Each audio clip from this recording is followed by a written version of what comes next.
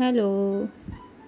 स्वागत है आप सभी का मेरे चैनल में। आज मैं आपको हेयर मास्क बता रही हूँ। इसके लिए मैंने दो पैकेट मेहंदी ली हुई है। एक्चुअली मेरे हेयर थोड़े से थिक हैं तो मैंने दो पैकेट लिया हुआ है। टेन रुपीज़ का पैकेट है, नेहा मेहंदी। आपके बाल अगर ज़्यादा लेंथी नहीं है तो आप एक पैकेट भी ले सकते हैं। मेहंदी से एक अच्छा सा कलर आता है हमारे बालों में। और शाइन भी अच्छे से करती इसके साथ मैं सीका काई पाउडर यूज़ कर रही हूँ। ये देखिए, सीका काई पाउडर है। ये मार्केट में इजीली अवेलेबल है। बहुत से ब्रांड्स में आता है। आप सीका काई पाउडर के बहुत सारे फ़ायदे हैं हमारे बालों के लिए। एकदम बहुत ही अच्छी चीज़ है। मैं क्या बताऊँ, इसका रिज़ल्ट बहुत ही अच्छा है। एक बार ट्राई तो करिए।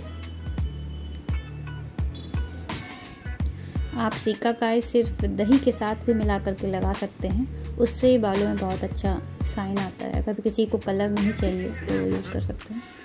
इस पैकेट को तीन बार यूज़ कर सकते हैं। आप तीन डिवाइड तीन भागों में डिवाइड कर लीजिए। उसको तीन बार यूज़ कर सकते हैं। अंदाज अगर लें तो फोर स्पून पाउडर एक बार में।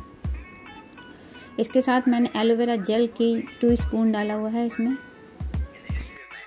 आपके पास अगर फ्रेश लीव, एलोवेरा जेल हो तो आप वो भी यूज़ कर सकते हैं। इसके साथ मैंने दो विटामिन ई के कैप्सूल भी इस मिक्सचर में ऐड किए हैं। विटामिन ई हमारी स्किन हेयर सभी के लिए बहुत अच्छा इंग्रेडिएंट है। मैंने हाफ़ बाउल ऑफ़ खट्टा दही लिया हुआ है, जो दही खट्टा वाला दही होता है, जिससे कड़ी वगैरह बनती है, उस दही को यूज़ करना है इसके लिए। क्रीम वाला दही मत यूज़ करिएगा। इस टेक्सचर को ज़्यादा रनी नहीं बनाना है, थोड़ा सा ही क्रीमी टेक्सचर रखना है आपको। इसमें आप हल्का सा वाटर भी ऐड कर लीजिए, जिस, जैसे आपको कंसिस्टेंसी चाहिए। देख रहे हैं कि अभी ये टेक्सचर मिक्स नहीं हो रहा है तो मैं इसमें धीरे धीरे वाटर ऐड करूँगी। और इसको मिक्स करती हुई जाऊँगी। अगर आपने इसको बहुत ज़्यादा रनी बना दिया तो ये आपको जितना टाइम भी आप लगाएँगी, टपकता रहेगा इनसे पानी। स्ट्रक्चर को बनाने के बाद 15 मिनट रेस्ट के लिए रख दीजिएगा। इसके बाद अपने बालों पर अप्लाई करिएगा।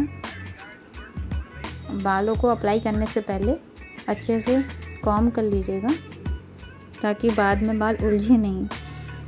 दो घंटे रख, अपने बालों पर रखिए और इसके बाद हेयर वॉश कर दीजिए।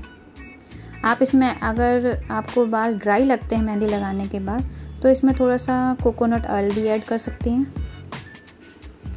ये टेक्सचर देखिए, बस इससे ज़्यादा आपको नहीं आप ब्रश की हेल्प से इसको लगाइए अपने बालों में।